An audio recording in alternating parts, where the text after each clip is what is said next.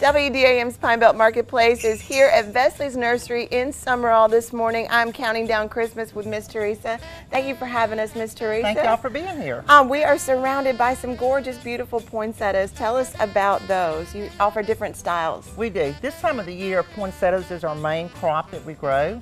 Um, we, ha we have the traditional red, which most people like, but we also carry um, jingle bells, we carry whites, we carry um, red glitter. There's so many different varieties, but again, the red is what most people want this Now, time of the year. Jingle bells. I have never heard of this. What does Jingle it look bells like? is red with some pink flecks in it. It's different. Oh, okay.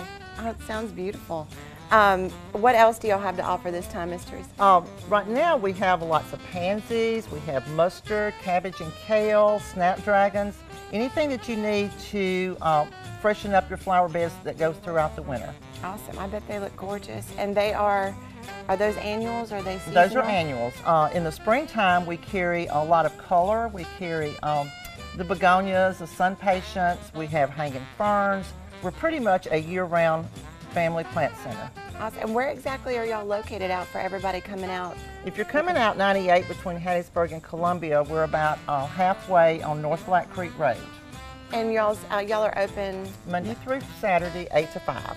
8 to 5. And everybody can be sure to go on to Facebook and check you guys Yes, out. we have a Facebook page that they can do that. Awesome. Is there anything else you'd like to share with everybody? Yes, I want to wish all of our uh, customers, uh, I want to thank them first for being loyal customers to us and wish you a Merry Christmas and a Happy New Year.